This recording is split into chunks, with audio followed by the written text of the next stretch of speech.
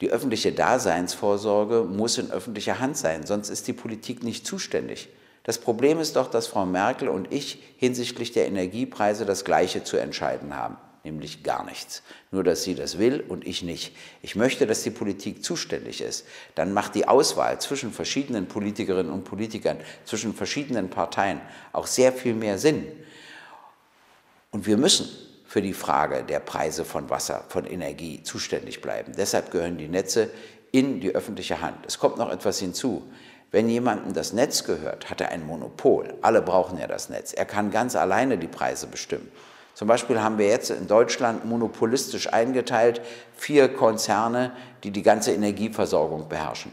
Und glauben Sie mir, auch wenn die das bestreiten, die können miteinander telefonieren und sich verabreden, wie sie uns ab November abzocken. Nein, das ist nicht der richtige Weg. Öffentliche Daseinsvorsorge muss in öffentlicher Hand, darüber muss in der Politik gestritten werden. Und nie vergessen, es gibt Demokratie nur in der Politik, nicht in der Wirtschaft. Schon deshalb sollte die Politik zuständig bleiben.